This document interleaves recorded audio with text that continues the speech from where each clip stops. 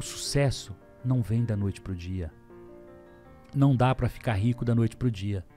Sabe quantos anos eu levei para pegar o primeiro cheque lá de 200 milhões que sobrou 70 líquido no bolso?